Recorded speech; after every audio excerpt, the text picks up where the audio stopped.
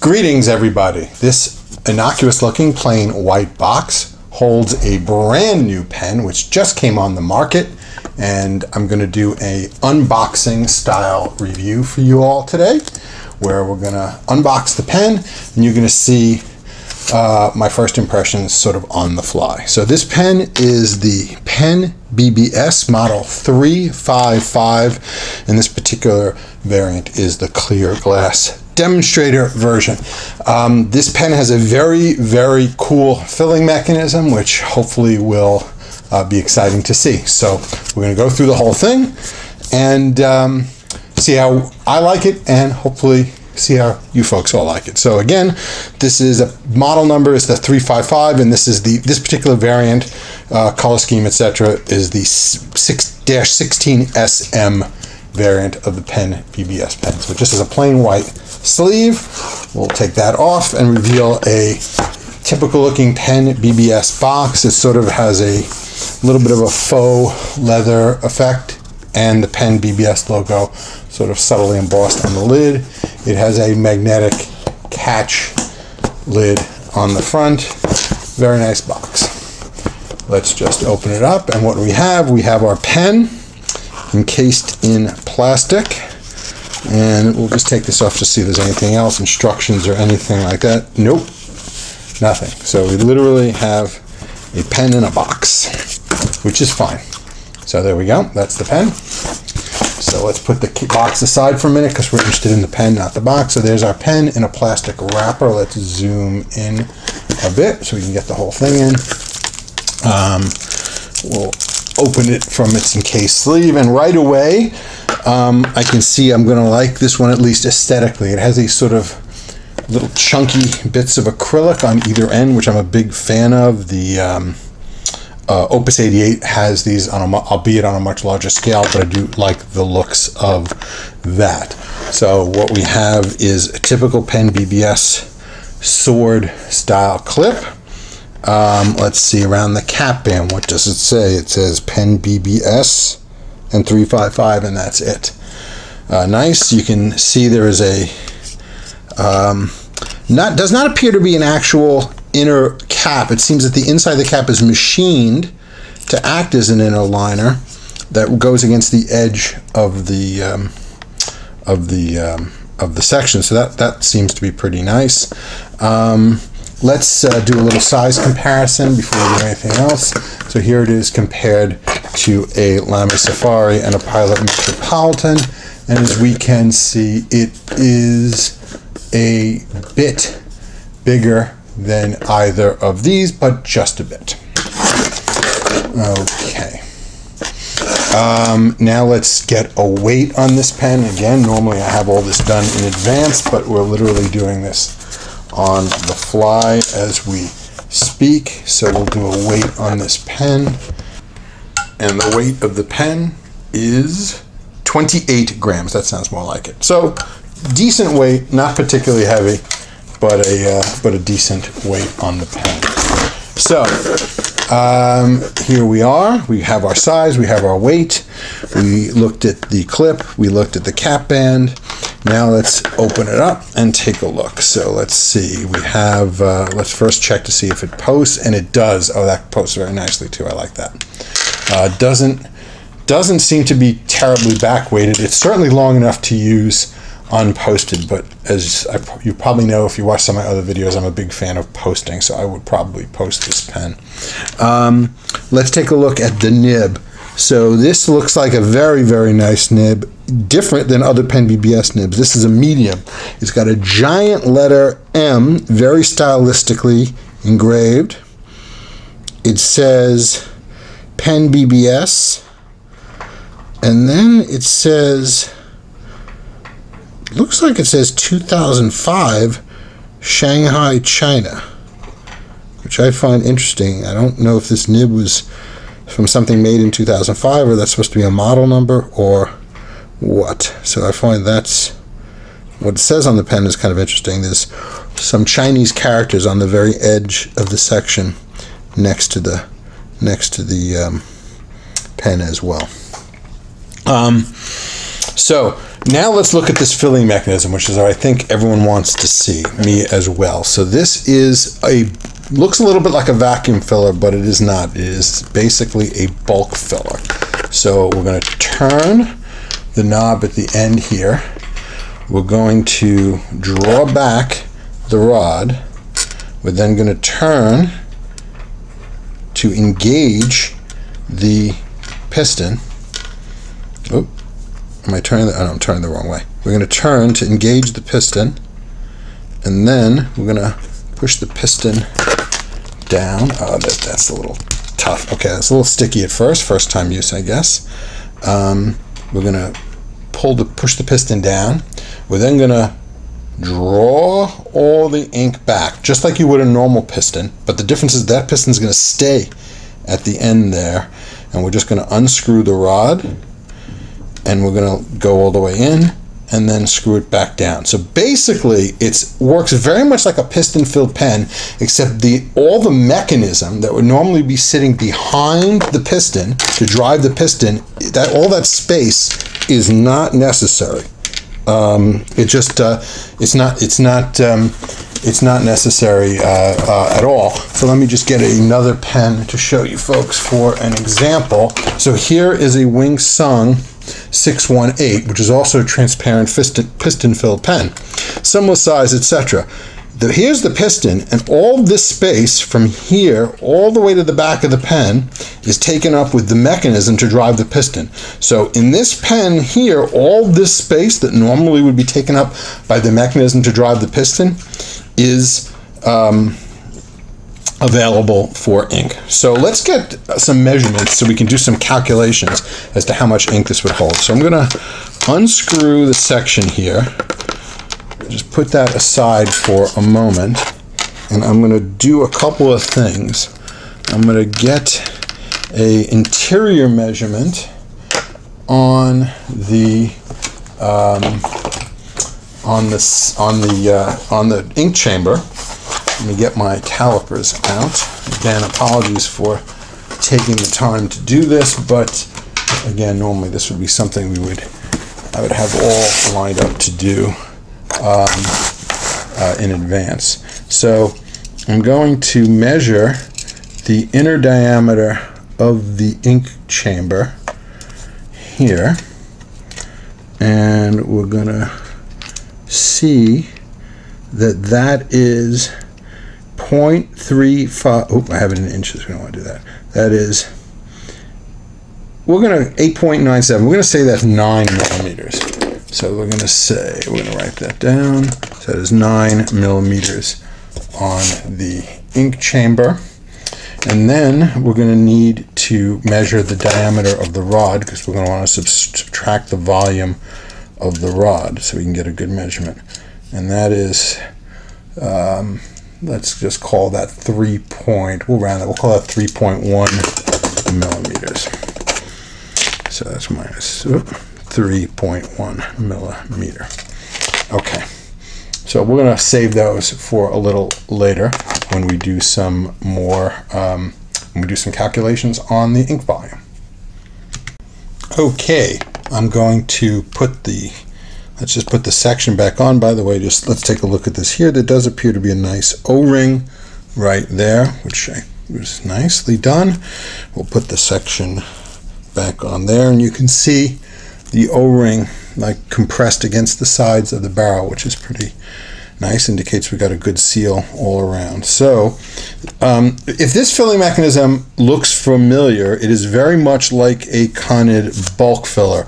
Obviously the Conid doesn't use simple threads there. It has sort of some sort of elaborate hook and catch mechanism to sort of move the the piston in and out but um, philosophically it's um, uh, uh, uh, quite uh, quite similar so I guess the next thing is let's see this filling mechanism in actual action and see how that works. So I'm going to ink it up with, um, thought a nice bright red ink would look good. So we're going to ink it up with Waterman Audacious Red. So let's try that out right now and see how, see how that works. Um, again, never inked this pen up before. This is the first, first time go around. And I'm going to try to hold this at an angle so we can all see this guy in action as we ink it. So first thing we're going to do is immerse and then we're going to unscrew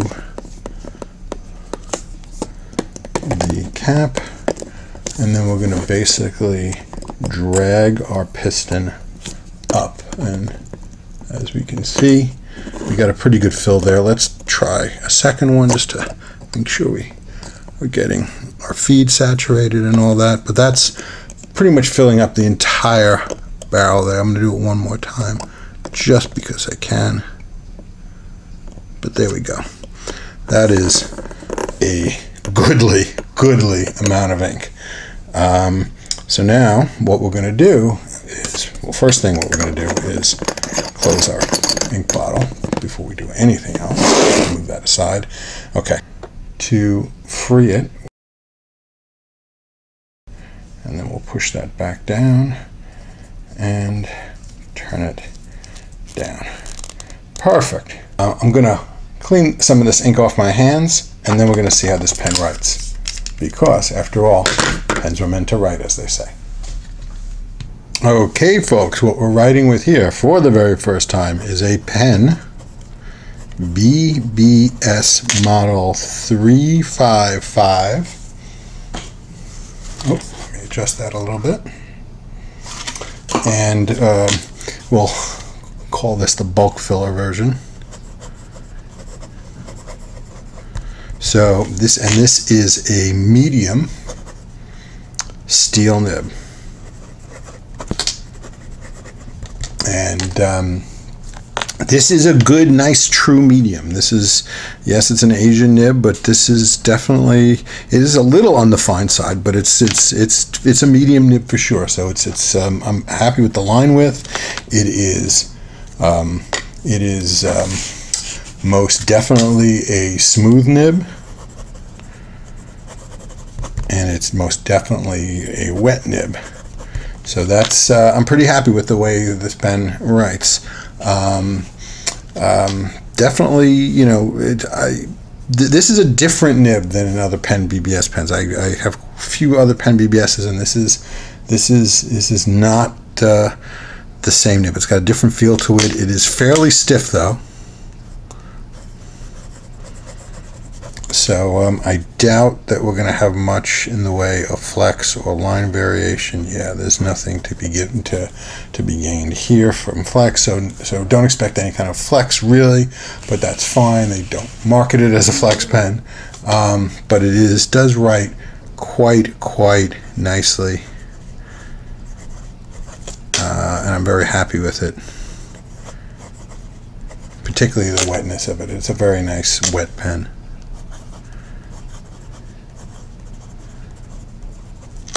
Um, very nice. Um,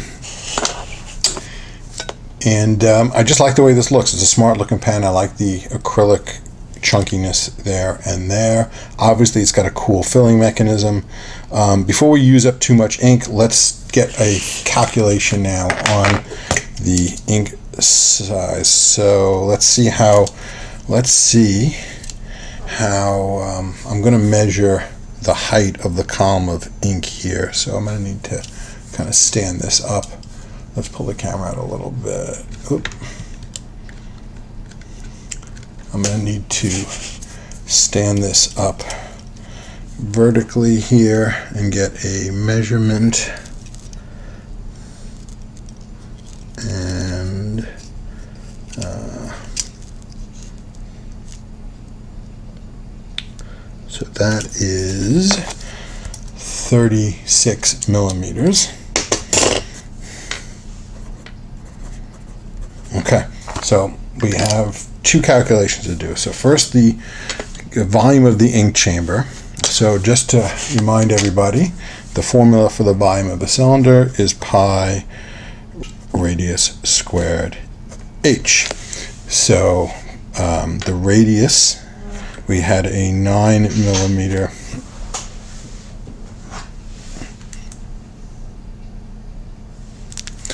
we had a 9 millimeter diameter. So that's equals a 4.5 millimeter radius.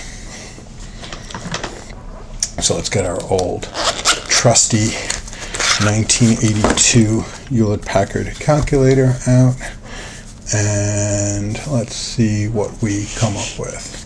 So we've got um, uh, radius uh, 4.5 and we're going to square that and then we're going to multiply it by we're going to multiply that by pi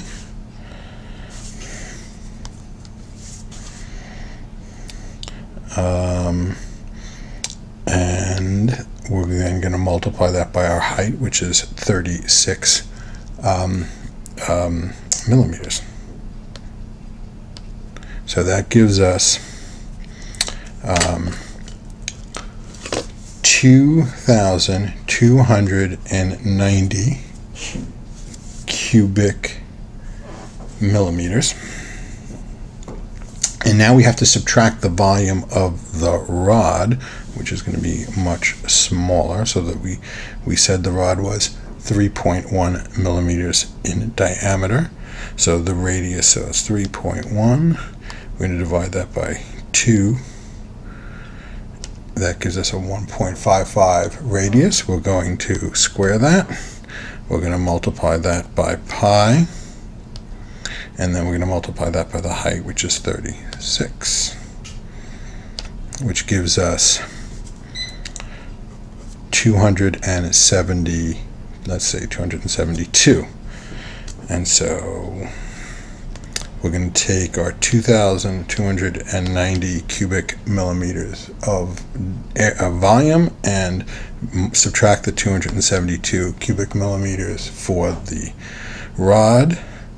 That gives us a grand total of 2,018 cubic millimeters or 2.018 milliliter of ink. So well over two milliliters of ink, which is uh, well, well, a bit over. Plus, I'm not counting any ink that's sitting in the section. So it's definitely north of two milliliters of ink. So it's suffice to say it's a it's a substantial amount of ink um, uh, in here. So that um, is that for the volume, ink volume, in case you were or interested. So I think this is a very cool filling mechanism. Certainly holds a lot of ink. Certainly is great if you have a nice colored ink like this. It certainly is a great, great way of showing off uh, the uh, color of the ink. Probably the the high, other than an eyedropper pen, uh, a filling mechanism like this is probably going to give you uh, some of the highest ink capacities you can. You may say a vac filler would be similar, and a vac filler would be, but the difference with a vac filler is the vac filler has to have a smaller inside diameter uh, of the ink chamber because it has to widen at the end to allow the vacuum seal to break. So it has to, by definition, be at least a bit narrower in some point. So could you make a vac filler that has this capacity? Certainly, but um, this is um, this is definitely a cool filling mechanism. Um, I like it a lot, and um, um, um, it's it's definitely a, a, cool new entrant from Pen BBS. I think they did a nice nice job with this pen. So I would I'm going to definitely give this pen a, a big thumbs up. I really really like it. Uh, really like it quite a bit. So um, hopefully we covered this pen quite thoroughly. Let's talk about this ink now uh, just a bit. So this is, um, as I showed you folks earlier, this ink is Waterman Audacious Red. So this is basically Waterman's standard red ink. Um, the closest ink I have to this one would be something like Diamine Poppy Red.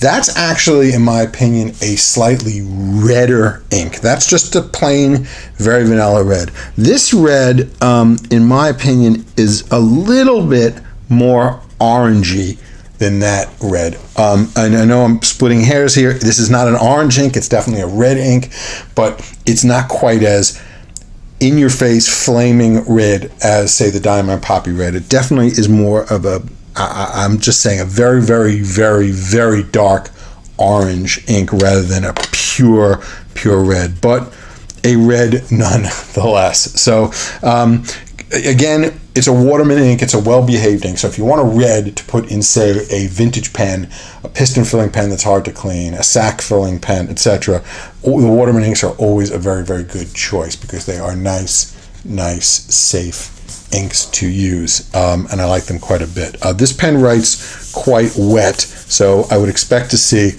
a little bit of this um, uh, smearing here on on some of the scribble scrabble. The lettering that I did is not smearing at all on this Rhodia paper. So this is um, uh, this is pretty well behaved. Again, given that this pen is writing uh, pretty much on the wet side, and um, here you can see it's not bleeding through or anything like that. Nice, nice ink.